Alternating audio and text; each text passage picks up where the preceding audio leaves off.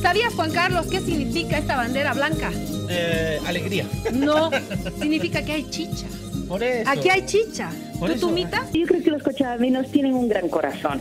Eh, somos muy apapachadores, muy amorosos. Estaba en Sucre, acá, donde tenemos el maní, donde tenemos ese chocolate, esos chorizos espectaculares. Miren, por favor. Pero hablando de las tradiciones, la fabricación de sombreros y chocolates es una de las tradiciones. Y hemos logrado darle pues a Sucre otro título que es Sucre, la ciudad del chocolate. En la capital del folclore. En Oruro, en mi tierra, en mi amado Oruro. El charquecán tradicional. El pan dulce de la El terminal. Llévate de- casero, pan dulce. Y el folclore. carnaval, Y el folclore. Oruro de mi alma, a nombre de todos los orureños, una tierra pujante que ha dado tanto al país en la época de las minas, ha sido el bastión de la economía. Oye, hermosa tierra tarijeña. En to- lugares como Tomatitas, el Valle, esa uva, esos lugares hermosos que tienen, ¿no? Venga, Tarija, los vamos a recibir con mucho cariño.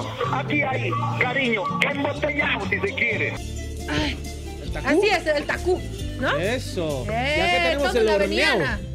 El horneado con Acá está el horneado. ¿Le muestra usted? Horneado con empanada de charque. Empanada de charque. Pero la verdad que es un gran, es grande, es inmenso del departamento de Lenin Martín, eh, es lo, por lo menos lo que podemos manifestar generalmente. ¡Eso! Pa, pa, pa, pa.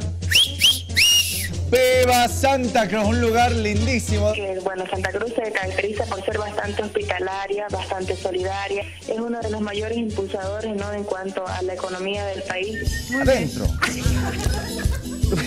A mí me pusieron esto casi me parte en la cabeza.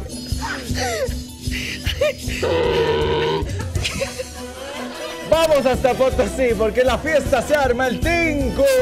Que nosotros los potosinos nos sentimos orgullosos de haber nacido a más de los 4.000 metros de altura sobre el nivel del mar, con ese marco tan impresionante, tan único como es el Cerro Rico de Potosí, llamado por Huayna Cápac el Sumajorco.